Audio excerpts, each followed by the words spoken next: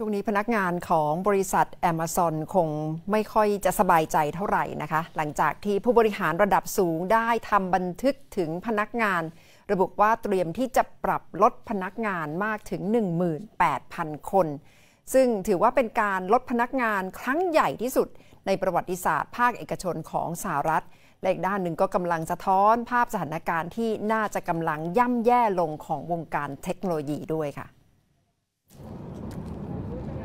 บันทึกของบริษัทที่เขียนโดยแอนดี้แจสซี่ CEO ของ Amazon.com Inc. ประกาศเตรียมปรับลดพนักงานมากกว่า 18,000 คน โดยเขาระบุว่าเป็นแผนการปรับลดกำลังคนที่เคยบอกพนักงานไว้แล้วก่อนหน้านี้ เขาระบุว่า Amazon ต้องเผชิญความไม่แน่นอนทางเศรษฐกิจ คงจะเป็นแบบนี้ไปอีกนาน การปรับครั้งนี้จะช่วยให้เราคงโอกาสในระยะยาวไว้ ด้วยการปรับโครงสร้างค่าใช้จ่าย ตอนนี้พนักงานของ Amazon ยังไม่รู้ตัวนะคะว่าจะเป็นหนึ่งใน 18,000 คนที่จะถูกปลดหรือไม่ Amazon ระบุว่าจะสื่อสารกับพนักงานโดยจะเริ่มตั้งแต่วันที่ 18 มกราคม 18 มกราคม กลุ่มที่จะถูกปรับลดก็คือกลุ่มงานด้านอีคอมเมิร์ซและงานฝ่ายทรัพยากรบุคคลหรือ HR การลดคนทำงานลงกว่า 18,000 คน เท่ากับการปรับลดคนครั้งใหญ่ขององค์กร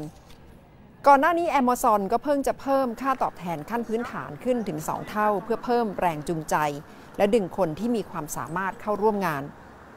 Amazon จ้างงานทั้งหมด1ล้าน5แสนคนทั่วโลกค่ะ โดยรวมถึงคนทำงานในคลังสินค้าด้วย การปรับลดพนักงานในครั้งนี้ประมาณว่าลดลงไม่ถึง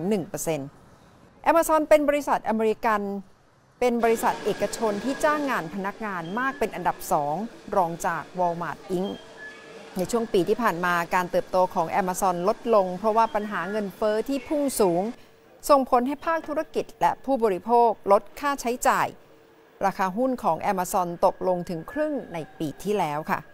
เดือนพฤศจิกายนปีที่แล้ว บริษัทเริ่มจากการปลดพนักงาน ถึงจำนวนหนึ่งในฝ่ายจัดหาอุปกรณ์นะคะ นักลงทุน Amazon ก็ขานรับนโยบายรัดเข็มขัดในครั้งนี้ หุ้นขึ้นเกือบ 2%หลังจากที่มีการประกาศออกมาโดยทางบริษัทนะคะ โดย Amazon มีสำนักงานใหญ่อยู่ที่ซีแอตเทิลปีที่ผ่านมาก็ได้ประกาศปรับลดกำลังการทำงาน โดยลดความต้องการของผู้บริโภคลดลง หนึ่งในความพยายามก็คือการขายพื้นที่ส่วนเกินในเครื่องบินที่ส่งสินค้าค่ะ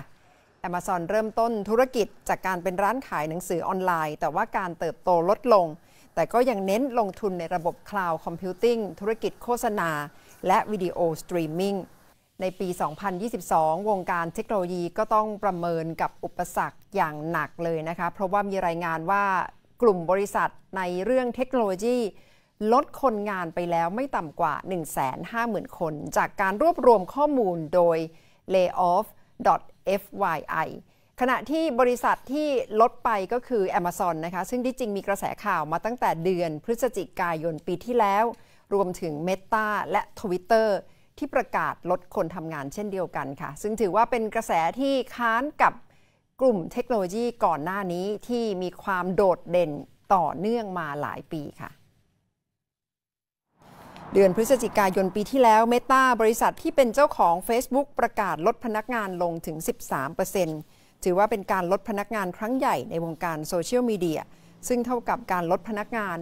11,000 คนทั่วโลก ลดไปจากทั้งหมดที่มี 87,000 คนค่ะ มาร์คซักเกอร์เบิร์กระบุว่าการลดพนักงานเป็นความเปลี่ยนแปลงที่ยากที่สุดในประวัติศาสตร์ของ Metaทวิตเตอร์ลดพนักงานลงเกือบครึ่ง หลังจากมหาเศรษฐีอีลอน มัสซื้อกิจการเมื่อเดือนตุลาคมปีที่แล้วค่ะ